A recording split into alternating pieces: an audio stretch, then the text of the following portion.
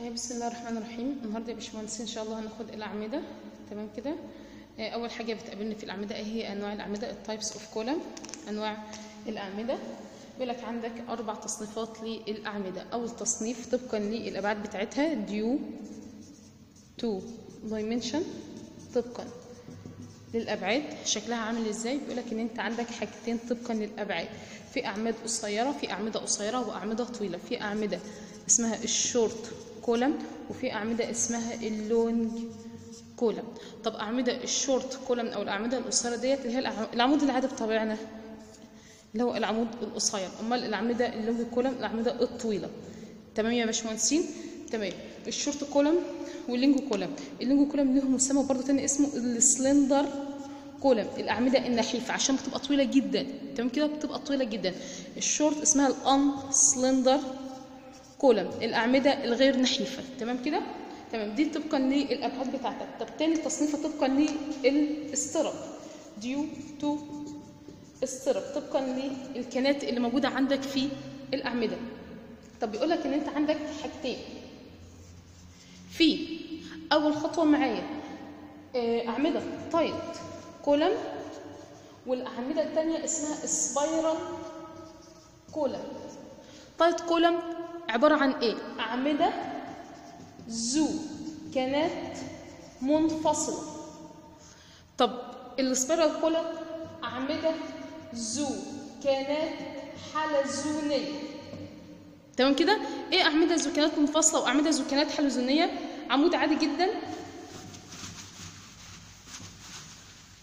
أعمدة اللي هي ال tied column ال tied column خلينا في ال tied column الأول. أدي ال tied column عمود عادي جدا.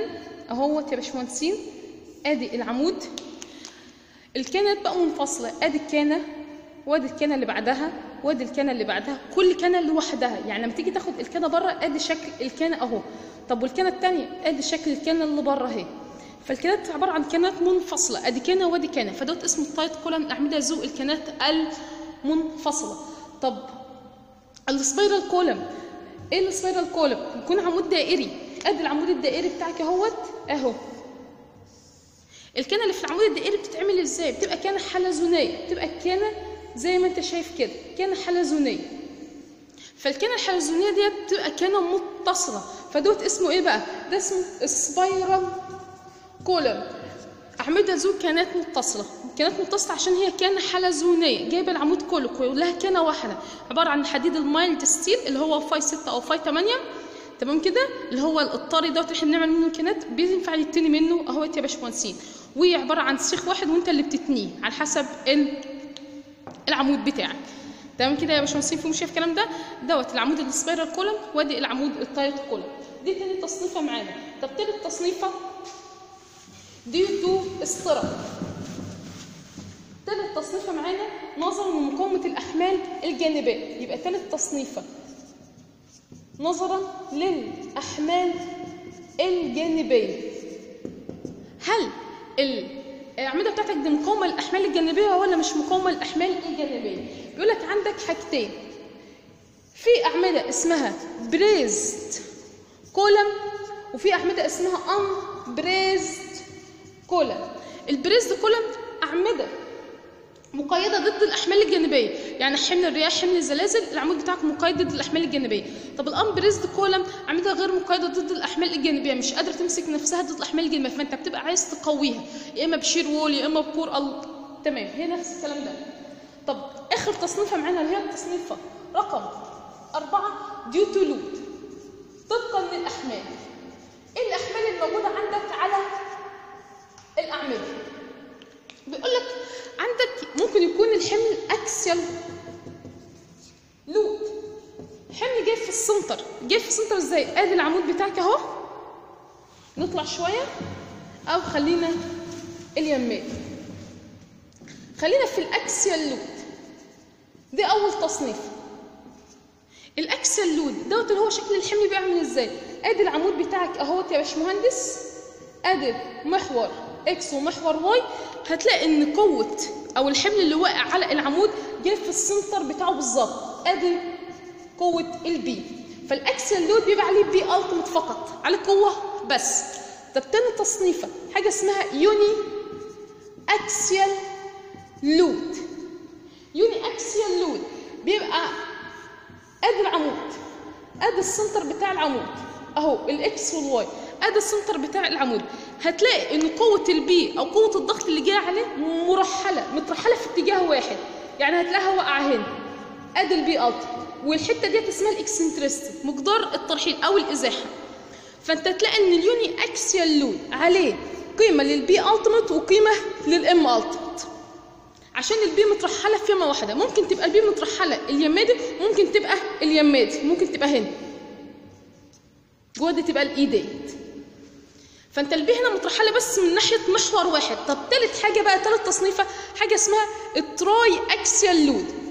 triaxial load. يعني عليه ثلاث أحمال. إيه هي الأحمال. قوة ال P وفي moment في اتجاه ال M x وفي moment في اتجاه ال M y فاسمها triaxial يعني عليه حمل عليه ثلاث حاجات. طب دوت بتيجي وقتين. لو ادي العمود زي ما انت شايف. وادي ال center محور x ومحور y وادي ال center بتاع العمود أهو. القوة P أو قوة الضغط اللي وقع على العمود مترحلة من ناحية x ومترحلة من ناحية y يعني جه هنا وليكن فأنت هتلاقي إن هنا في قيمة لل e وهنا في قيمة لل e فقيمة ال e ديت هتجيب لك هنا moment وهتجيب لك هنا moment يا باشمهندسين. فانت هتلاقي إن العمود بتاعك لو عليه قوة بس اسمه أكسيا لو عليه قوة و moment اسمه يوني أكسيا. طب لو عليه P و M في اتجاه x و M في اتجاه y فاسمه إيه؟ triaxial load تمام كده يا باشمهندسين؟ تمام. ديت أول حاجة. طب إحنا اللي هناخد النهارده بقى هناخد إيه؟ هناخد ال tied column. ال tied column اللي هي الأعمدة المنفصلة أو الاعمده ذو كانات منفصلة. هاخدها من ناحية إيه؟ عايزة أصممها. هي بتتصمم إزاي الأعمدة؟ ال tied column يبقى الحاجة اللي هناخدها النهارده اسمها ال tied column طب ال tied column أول حاجة أعمدة ذو كانات منفصلة. شكله أهو يا باشمهندسين آدي ال tied column يا باشمهندسين ال tied column يا باشمهندسين. قلنا اللي هو العمود ذو كانات منفصلة اللي هو شكله ده. عايزة اصممه عايزة اصممه يعني إيه؟ يعني عايزة أجيب البعد ده وليكن b البعد ده t. إحنا قلنا لما أجي أصمم كلمة design بصممها من حاجتين من خرسانة ومن حديد. يعني عايز تعرف أبعاد العمود ده كام؟ ال b كام وال t كام؟ وعايز أشوف ال area steel اللي بتتحط جوه العمود. طب ال area steel اللي جوه العمود عبارة عن إيه؟ عبارة عن الحديد الرأسي وحديد الكانات فال area steel ببقى عايز أعرف حاجتين. الحديد ال main steel اللي هو الحديد الرأسي وحديد الكانات ال stirrups. تمام كده يا باشمهندسين؟ فأنا عايز أعمل الكلام ده كله. بيقول لك إن الأعمدة ال tied column فيها معادلة اللي هو الحمل اللي بتشيله. إيه هي الحمل اللي بيشيله؟ بيقول لك إن ال P ultimate قيمة الحمل اللي بيشيله العمود ال tied قيمته 35 من 100 ال Fcu في ال area concrete ناقص ال area steel زائد point 67 ال F yield في ال area steel ادي معادله ال tied column هي دي المعادلة الوحيدة اللي عندنا في ال tied column إيه هي المعادلة. ال P ultimate قوة الحمل اللي على العمود. طب 35 ده الرقم. ال Fcu اللي هو إجهاد الخرسانة. ال area concrete اللي هي أبعاد العمود اللي هي ال b وال t طب ال area اللي هي قيمة الحديد الرأسي. زائد point 67 ال F yield اللي هو إجهاد الخضوع بتاع الحديد في ال area في مساحة الحديد. ادي المعادله بيقول لك إن أنت في المسألة بتبقى قيمة ال P ultimate بتبقى معطى given فأنت هتلاقي عندك مشكلة. إيه هي المشكلة؟ إن ال area concrete ما أنتش بتبقى عارفها مجهولة وال area steel بتبقى مجهولة. فانت عندك معادلة في مجهولين. أكيد بفرض واحد عشان أجيب التاني. بيقول لك إن أنت دايما لما أجي أفرض بقول assume إن قيمة ال area steel باخدها واحد من 100 من ال area concrete. ادي الفرض ده ثابت. دايما قيمة الحديد بتبقى واحد في المية من قيمة الخرسانة من أبعاد العمود اللي هي ال b وال t تمام كده يا باشمهندسين؟ أدي المعادلة بتاعتنا. طب عندك شوية حاجات كده. إيه هي الحاجات؟ ال area steel minimum أقل مساحة حديد عندك كام في في العمود؟ طب نشوف عشان أنتوا مش شايفين. ال area steel minimum أقل مساحة حديد عندك المفروض تبقى في عمود كام؟ يقول لك لها قيمتين. القيمة الأولانية 8 من 10% و6 من 10% 8 من 10% من الايه من ال area concrete required طب 6 من 10 من إيه من ال area concrete chosen تمام. طب دي أقل مساحه حديد المفروض تبقى موجودة في العمود بتاعك. طب عندك حاجة تانية؟ ما انت عارفين إن ما ينفعش أحط حديد كتير في العمود عشان ما يتحولش يبقى over reinforcement أو ده دايما بتحط ما ينفعش تعدى أقصى قيمة حديد موجودة في القطاع بتاعك. طب قيمتها كام؟ يا إما 4% يا إما 5% يا إما 6% طب 4 5 6 على حسب إيه؟ هي 4% من ال area concrete من ال area concrete. طب 4% لو العمود بتاعك داخلي 5% لو العمود بتاعك خارجي 6% لو العمود بتاعك corner داخلي يعني إيه؟ يعني آدي. البلاطة اهي دوت اسمه. عمود corner ده اسمه. عمود خارجي طب ده اسمه عمود داخلي. فأكبر مساحة للعمود ال corner يا باشمهندسين 6% من ال area concrete. العمود الخارجي 5% من ال area concrete طب العمود الداخلي 4% من ال area concrete تمام كده؟ طب عندك شوية احتياطات لازم أبقى عارفها.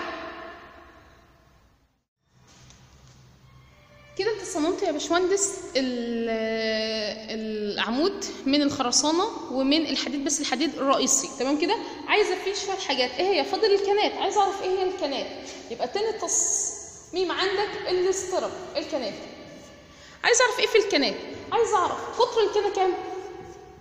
وعايزه أعرف عدد الكنات كام؟ أو بتتجاب منين؟ من الإس المسافة ما بين الكنات طب قطر الكانه يقول لك إن قطر الكانه هي الأكبر ما بين قيمتين هما القيمتين 8 ملي وال phi على الأربعة.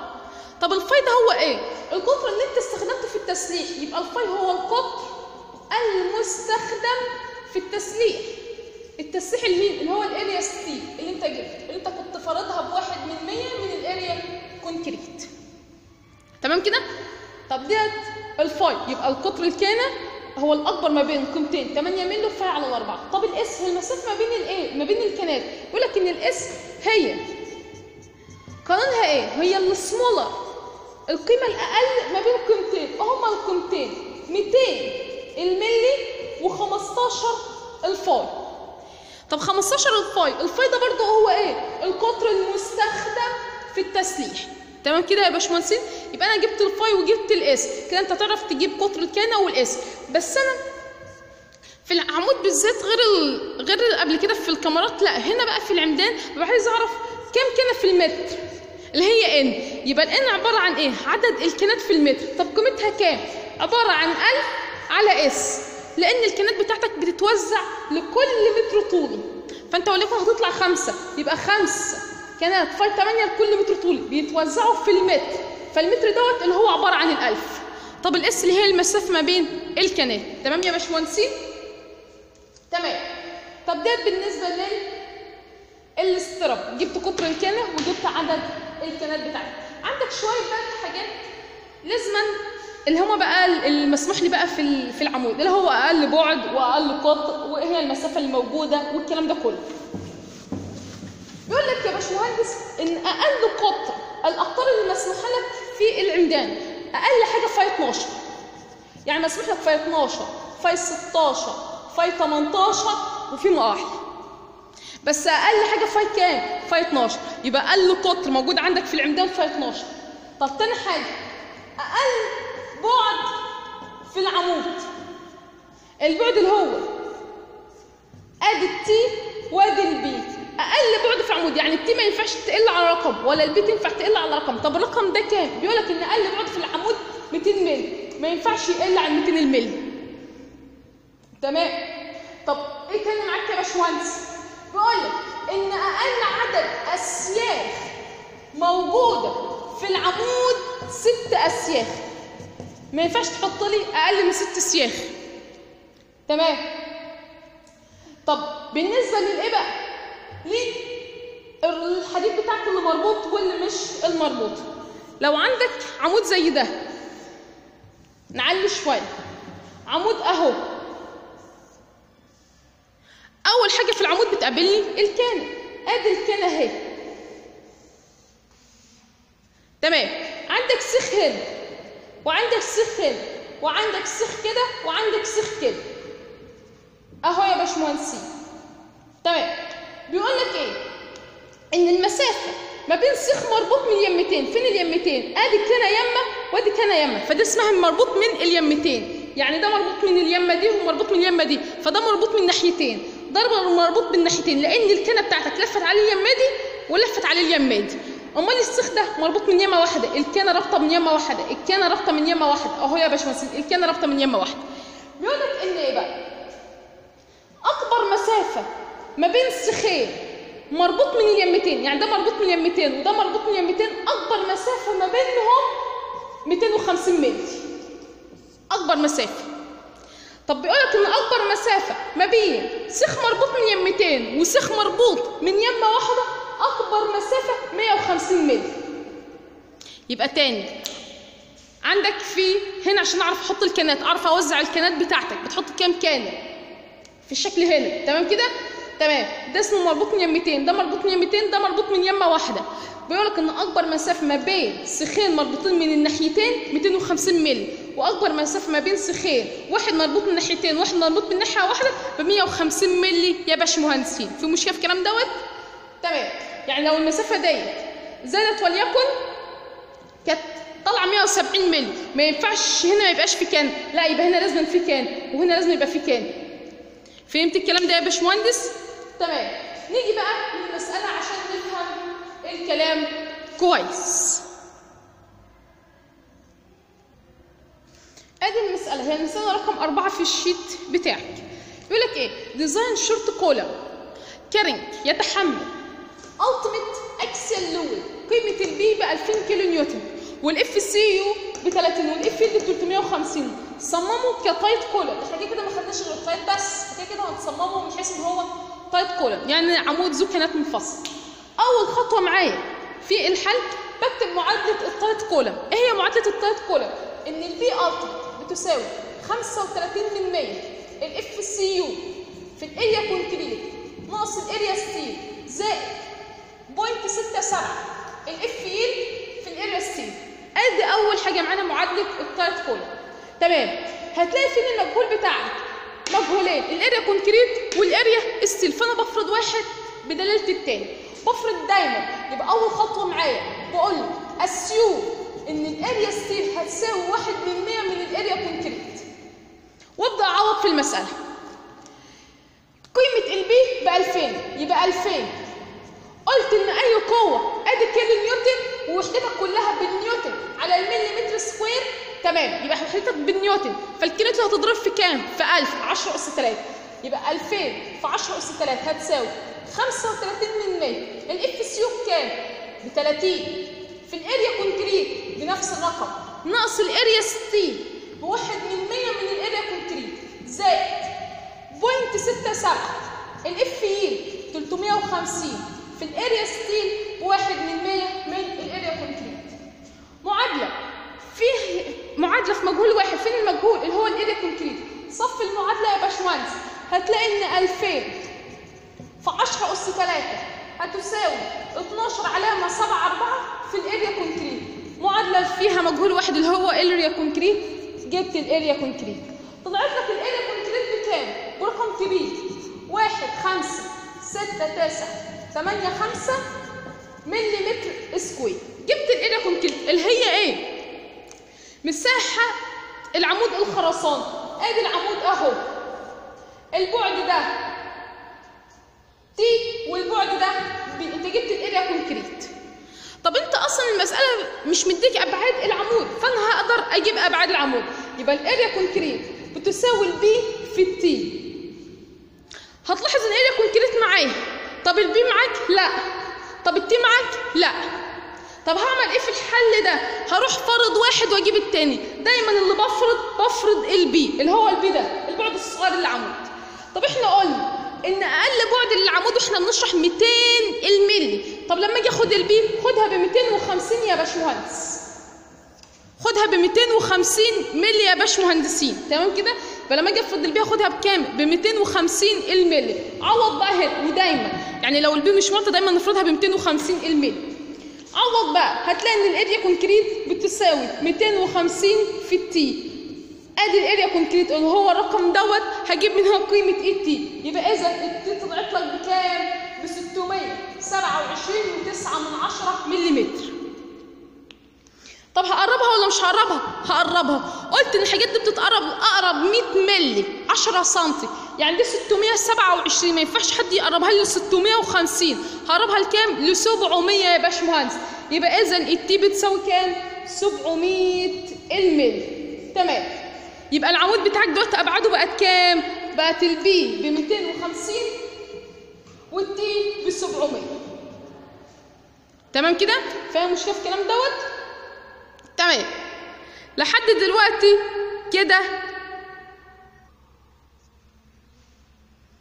ادي التي ب 700 والبي ب 250 الخطوة اللي بعد كده انت كده صممت العمود من ناحية الخرسانة. جبت الأبعاد بتاعة الخرسانيه جبت الأبعاد دي. عايز أشوف بقى قيمة الحديد. طب ما أنا كنت فرضه فرض في بداية المسألة إن الأريا ستي بتساوي واحد من 100 من ال area concrete. طب ال area concrete ما حدش يستخدم لي ال area concrete اللي قبل كده اللي هي كانت قيمتها 1 5 6 9 8 5 علامة 8 7 لا ال area concrete دي كانت موجودة لما ال t كانت ب 600 وشويه ب 627 9 من 10 بس ال t دلوقتي انت قربتها ب 700 يبقى في area concrete إيه؟ في area concrete جديدة ال actual الحقيقية الفعلية. تمام كده؟ يبقى هجيب ال area steel بتساوي واحد من 100 في ال area concrete ال actual اللي هي القيمه ال 700 في ال 250 يا باشمهندس محدش يضرب لي القيمه ديت لا انت دلوقتي إحنا بنتكلم دلوقتي؟ ابعاد العمود بتاعتك اهي. ال actual الفعلية إحنا دلوقتي ما لناش دعوه بالافتراض إحنا دلوقتي بالفعل بالحصل الفعلي العمود 700 في 250 هجيب ال area steel طلعت لك ان ال area steel يا باشمهندسين ب 1750 ملم square. عايز تحولها ل phi 12 تمام؟ عايز تحولها ل phi 16 براحتك. عايز تحولها ل phi 18 اللي انت عايزه. تمام. أنا عن نفسي استخدمت phi 16 يبقى هقسم على pi على الاربعة في ال 16 تربيع. طلعت القيمه دي طلعت لك كام؟ طلعت لك 8 و7 سيخ ينفع حاجة اسمها 8 و7 سيخ لا بروح مقرباهم هقربهم ل 9 سيخ بس ده عمود. عمود مستطيل زي ما انت شايف. ما ينفعش فيه عدد فرد ده لازم عدد زوجي. يبقى هنا عبارة عن 10 اسياخ يبقى اللي انت هتستخدمه هتستخدم كام؟ 10 فاي 16 في العمود. يبقى دلوقتي انت صممت العمود من ناحية الخرسانة ومن ناحية الحديد الرئيسي اللي فيها. فاضل إيه بقى تاني؟ فاضل الكنات. هتصمم الكنات إزاي؟ لما أجي اصمم الكنات قلت عندك حاجتين في الكنات. عايز أجيب قطر الكانة اللي هو ال phi وعايز أجيب ال S بتاع الكنات يبقى الخطوة اللي بعد كده ال stirrup طب ال stirrup عايز أجيب ال S وعايز أجيب ال phi طب ال S كانت قيمتها كام؟ هي الأقل ما بين قيمتين هما القيمتين 200 الملي و15 ال phi طب 15 ال phi طب 15 هو القطر انت شغال بكام؟ 16 يبقى 15 في 16 هتطلع 240 الملي يبقى ال S هتاخدها 200 ولا 240 هاخدها 200 لأنها الأقل. يبقى ال S بتساوي 200 الملي جبت ال S اللي هي المسافة ما بين الكنات عايزة أشوف عدد الكنات ال n. يبقى الخطوة بعد كده بجيب عدد الكنات يبقى ال n ده عبارة عن إيه؟ عدد الكنات عبارة عن 1000 على S. يبقى 1000 على 200 يعني هتطلع لك خمس كنات في المتر. طب انت كده جبت عدد الكنات عايز أجيب إيه؟ قطر الكانة اللي هو ال phi قلت ال phi هي الأكبر ما بين قيمتين وهما القيمتين يا إما phi 8 يا إما phi على الأربعة. طب ال phi هو القطر اللي انت بتستخدمه في الحديد الرئيسي كنت مستخدمه كام؟ 16 phi 16 بس 16 على 4 طلعت بكام؟ ب 4 مللي. يبقى ال phi هي الأكبر ما بين ال 8 وال 4 هاخدها كام؟ 8 يبقى ادي ال phi ب 8 مللي يا باشمهندسين. كده تمام. كده انت صممت الكنات. عندك خمس كنات وقطر phi 8 يبقى بتتكتب إزاي؟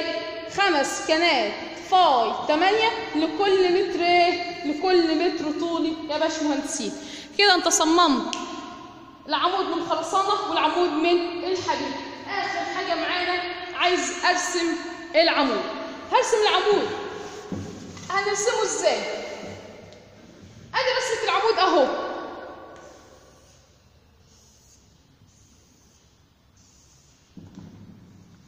البعد ده 700 طب والبعد ده 250 طب أول حاجة بتقابلك فيه العمود إيه هو؟ الكانه ادي الكانه أهي. طب كان عندك كام سيخ؟ كان عندك 10 تمام كده؟ ال10 متوزعين على العمود ككل على المحيط الخارجي للعمود. يعني هتقول لي هنا خمسة وهنا خمسة. حط الخمسة. أدي سيخ اتنين. تلاتة. تلاتة. أربعة. خمسة. أدي سيخ اتنين. تلاتة. أربعة. خمسة. تمام. آدي إجمالي الحديد بتاعي. يبقى ده عبارة عن كام؟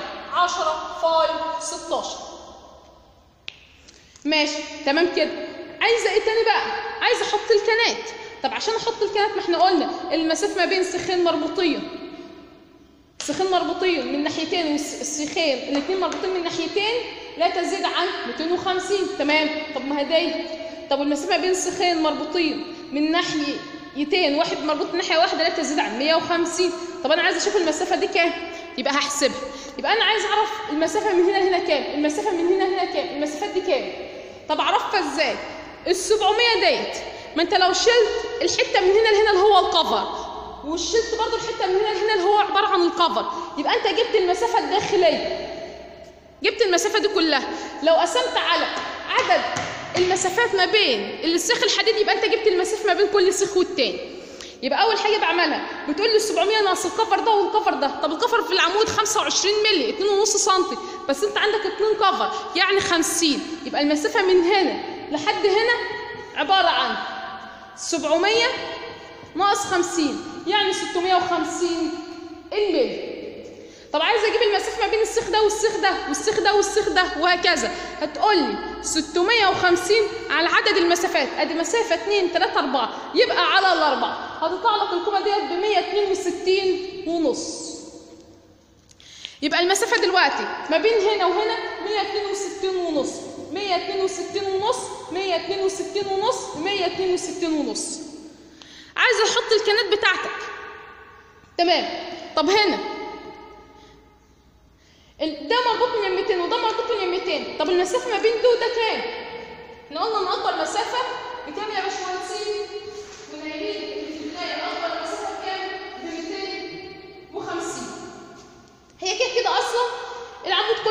50 شيل كفر وشيل كفر يعني المسافه من هنا لهنا 200 تمام. من هنا لهنا 200 تمام. مسعفه وزي الفل. يبقى هنا مش هتحط كام طب نيجي هنا. المسافه من هنا لهنا 162 ونص. ضرب مربوط من يمتين وضرب مربوط من يمة واحدة.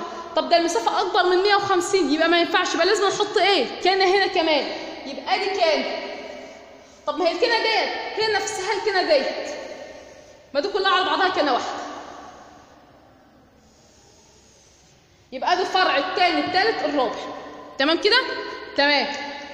طب ما هي المسافة ما بين السيخ دوت مربوط من يمتين والسيخ ده مربوط منين؟ من يمة واحدة. المسافة كام؟ 162 ونص. ده أكبر برضو من كام؟ من 150 فلازم هنا في كانه تتحط. فالكانه اللي تتحط هنا اسمها كانه إيه؟ كانه حباية على قد السيخين بس. كانه شكلها كده. كانه حباية. أهي. طب قفل الكانه الزرقاء دي كلها على بعض كانه وليكن القفل بتاعها اليماتي يبقى القفال كلها اليمة الثانية الناحية الناحية اللي فوق. طب ما دي كلها كان القفل بتاعها اليماتي طب ما الصغيرة دي كان حباية القفل بتاعها اهو.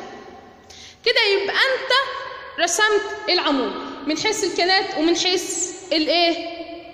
الحديد والخرسانة وكل حاجة. تمام كده يا باشمهندسين؟ وفي سؤال. حد هيقول إن في خمس كنات أنت مرسم خمس كنات الخمس كنات التانيين في المتر يعني إيه؟ هنركز هنا يا باشمهندس. ادي العمود أهو. أنت حاطط ادي وليكن واحد متر. أنت حاطط في المتر ده خمس كانت أدي كان اتنين تلاتة أربعة خمسة طب شكل الكان عامل إزاي؟ لو جيت خدت زوم على الكنة دي شكلها عامل كده. يبقى ال- محدش يقول لي إن الكنة دي والكنات اللي هي الزرقاء والحمراء والكنة الصغيرة دي لها علاقة بعدد الكنات اللي أنت جايبهم خمسة. phi 8 لا ده ديت شكل الكنة الواحدة. طب في كام كنة هتحطها في المتر شبه ده؟ خمس كنات يا باشمهندسين تمام كده؟ تمام. فاضل اخر حاجة معانا بقى هي الايه ال check كده بعمله اسمه ال V stirrup حجم الكنات. في check كده بيتعمل. هو اللي check إن حجم الكنات ال V stirrup اللي هو بيساوي عدد الكانات في المتر. في مساحة فرع الكان اللي هو يا phi 8 يا phi 10 على حسب phi 8 50 و3 من 10 مضروب في محيط الكان. لازم يبقى أكبر من أو يساوي 2 ونص أبعاد العمود اللي هو ال b في ال t. طب إن عدد الكانات خمسة. تمام. طب ال area stirrup انت كنت مستخدم خمسة phi 8 طب ال phi 8 ال area stirrup بتاعتها بكام؟ ب 50 و3 من 10 تمام. طب هنا اتنين ونص ال b في ال t اتنين ونص. طب ال b ب 250 طب ال t ب 700 تمام. إيه مشكلتك الوحيدة هنا؟ ال perimeter. محيط الكان محيط الكانات اللي انت استخدمتها عايز أجيب محيط الكانات اللي موجودة هنا. المحيط ضيق. يبقى مشكلتك كلها هنا في المحيط. طب اجيبها إزاي؟ أنا همسح القانون وخلاص. هجيب المحيط واتعوض بيه هنا وخلاص. وديت دايما هتطلع أكبر من 2.5 بي في التي والمسألة خلصت. فهجيب ديت بقى يا باشمهندس يبقى همسح الكلام ده. لما أجي أجيب الكلام دوت نركز. عايز أجيب المحيط. البارامتر. المحيط بيساوي إيه؟ طب أنت عندك كام كان الأول؟ طب ما افرض لازم أفرض الكنات اللي عندي عشان نشوف المحيط بتاعها. طب تيجي نفرضها فوق. أول حاجة الكنة الكبيرة اللي واخدة العمود كله اللي هي الزرق. طب نعملها بنفس اللون عشان تبقوا فاهمين. الكنة الكبيرة أهي. ماشي. طب والكنه الحمراء؟ اللي هي الكنه دي نطلعها فوق. طب والكنة الحباية الصغيرة؟ اهي. عايز أجيب المحيط. محيط يعني إيه مجموع أطوال الحاجات دي كلها. يبقى لو عايز أجيب المحيط يبقى الطول ده زائد ده زائد ده زائد ده زائد ده زائد ده زائد ده زائد ده. طب عشان أجيب المحيط أو مجموع الأطوال عايز أعرف الطول ده كام؟ ماشي. هي الكاميرا كلها ال- العمود كله البعد ده 250 شلت كفر من هنا وشلت كفر من هنا يعني شلت 50 يبقى 250 ناقص 50 يعني 200 يعني البعد ده بقى ب 200 والبعد ده 200 وإيه تاني؟ ما هي الكنه الحمراء نفس الكلام عرضها نفس عرض الكنه الزرقاء يعني البعد ده برضه 200 والبعد ده برضه 200 طب ما هي الكنه الحباية برضه نفس الكلام. البعد ده برضه 200 والبعد ده برضه 200 ماشي. عايز أجيب المسافة دي كلها بتاعت الكنه الزرقاء دي. طب المسافة دي عبارة عن إيه؟ ما هي دي 700 شلنا من هنا كفر 25 شلنا من هنا كفر 25 يبقى 700 ناقص 50 650 يعني إيه؟ يعني المسافة دي 650 طب وده البعد ده برضه 650 نيجي على الكنة الحمراء. المسافة دي بكام؟ من هنا لهنا كام؟ ليها حاجتين يا اما تقول 162 ونص في 2 أو تقول 650 ناقص 162 ونص ناقص 162 ونص. أقل 2 واحد. هتطلع لك في النهاية الموضوع ده 325 طب ال 325 جت منين؟ 162 ونص في 2 اللي هو المسافة دي والمسافة دي. طب نيجي للكلى الحباية. الحتة دي طب اللي هي ديت بتاعت السيخ ملهاش لازمة يا باشمهندس. ملهاش لازمة تحسبها بس جيب لي بقى البارامتر المحيط ده. جمع لي الكلام ده كله. المحيط هو عبارة عن إيه؟ مجموع اطوال أضلاع. طب بالنسبة للمستطيل 2 مضروب في الطول زائد العرض. طب ما دول كلهم مستطيلات. يبقى 2 في الطول زائد العرض. طب 2 في خلينا في الكنى الكبير. الطول 650 عرض 200 يبقى 650 زائد 200 زائد. الكنى الحمراء. البعد بتاعها 350 325 و200 يبقى 2 في 325 زائد 200 زائد الكنة الصغيرة الكنة الحباية ده عبارة عن 2 في 200 ده ملهاش عرض ملهاش كان ده هي 200 زائد 200 بس يا باشمهندسين وادي طلعت الارقام ديت؟ ب 3150 الملي تمام كده؟ فيها مشكلة الكلام ده؟ وأروح معوضة بالرقم دوت في الايه؟ في المعادلة اللي أنا كنت عاملاها اللي هي كانت القيمه بتاعتها هتساوي مباشرة ال n كانت بخمسة في ال area stirrup ب 50 و3 من عشرة في ال perimeter ب 3150 كانت أكبر من 2.5 ال b في ال t طب ال b ب 250 وال t ب 700 عوض يا باشمهندس هيطلع لك الرقم ده أكبر بكتير من الرقم دوت يا باشمهندسين. في مشكلة في الكلام دوت؟ تمام. وادي خلصت المسألة. يا باشمهندس.